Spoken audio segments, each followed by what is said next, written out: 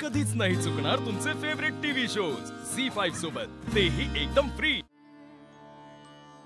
देवा, भावाचा भुकेला.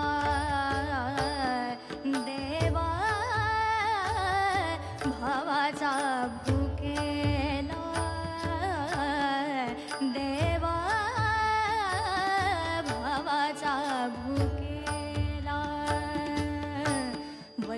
सोडून आला वैकुंठ सोडून आला वैकुंठ सोडून आला सोडून आला देवा भावाचा भुकेला